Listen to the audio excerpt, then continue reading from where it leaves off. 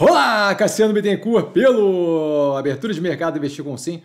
Um bom dia a todo mundo, são 8h52 da manhã do dia 14 do 12 de 2023. Está o vídeo da organização do canal aqui embaixo, na descrição desse vídeo, como sempre, para poder entender como é que o canal funciona. Eu começo com um disclaimer que eu falo aqui nada mais é do que minha opinião sobre investimento. A forma como eu invisto não é, de qualquer forma, modo em geral, indicação de compra ou venda de qualquer ativo do mercado financeiro. Isso dito, fechamento ontem bem positivo para o portfólio tá um volume forte, especialmente ali pela decisão de juros, tanto do, do Fed, na verdade, né? o Copom decidiu e foi divulgado depois.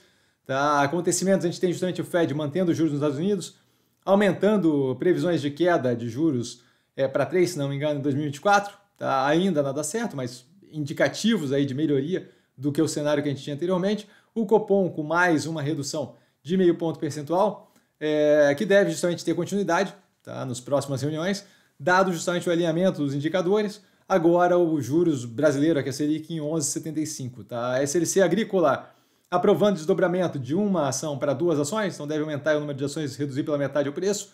Tá? Nada que afete em absolutamente nada a operação. Tá? Alpargatas com o novo CEO eleito, que deve assumir em fevereiro de 2024.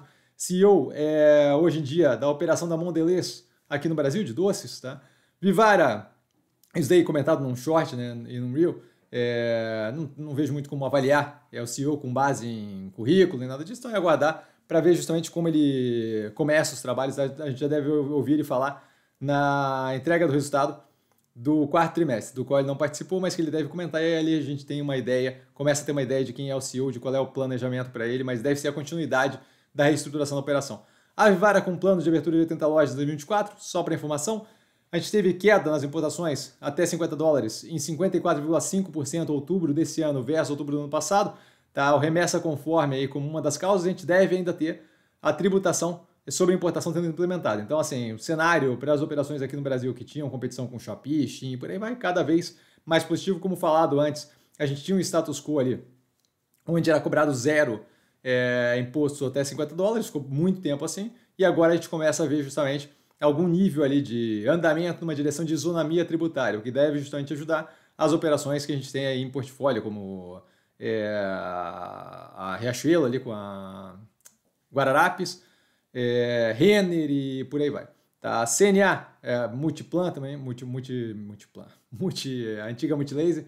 Tá? A CNA pedindo para participar do processo de aprovação do CAD, tá? no que se refere a frigoríficos? É, é, comissão, é, congresso, alguma coisa assim nacional da, de agricultura e pecuária, tá relevante no caso da Minerva, que tem justamente votos a serem dados no que tange a compra das 16 plantas no da Marfrig, tá aí um centro de distribuição. É, acho bem estranho, tá? Um grupo de interesse assim econômico fazer diferença. Acharia, me, me surpreenderia se fizesse alguma diferença, dado que só cria o estímulo para ter lobby do outro lado também, certo? Então eu tenho um grupo ali de interesse em prol de pecuarista, eu, eu vou arranjar um outro grupo de interesse em prol do frigorífico, e aí vai ficar um debate que é, acaba se atendo à fundamentação, que é justamente o que o CAD deveria fazer. Não vejo muito como grande relevância, mas a gente deve, deve, deve ter soma zero, tá? mas a gente vai ficar acompanhando.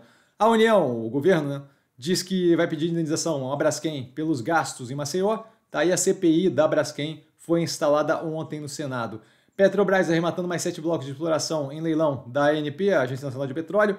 O PPI, o Producer Price Index, o preço ao produtor americano em zero em novembro, tá 0 a 0. É, serviços aqui no Brasil caindo 0,6%.